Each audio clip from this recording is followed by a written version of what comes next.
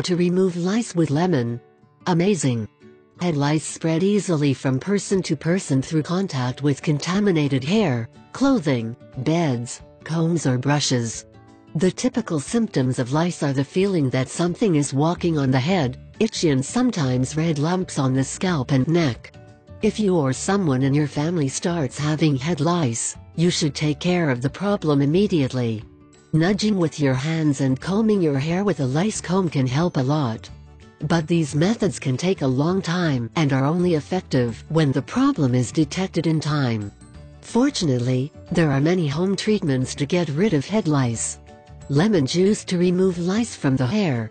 Lemon juice can also be used to eradicate hair lice thanks to its natural acid.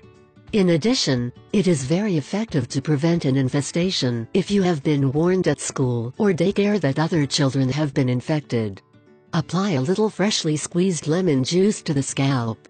Leave on for 30 minutes, then rinse with vinegar and finally with warm water.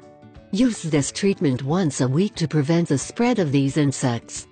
To know how to remove lice, add a tablespoon of fresh lemon juice to a fine paste made with 4 cloves of garlic.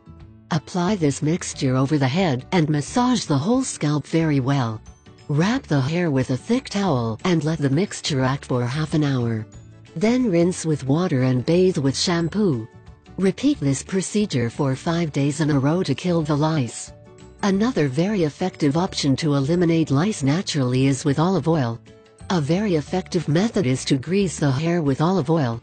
Once greased, a lice comb is used. This accumulates them in the comb to facilitate their extraction.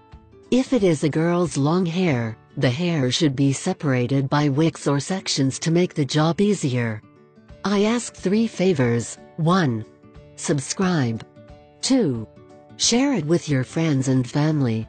3. Give a like.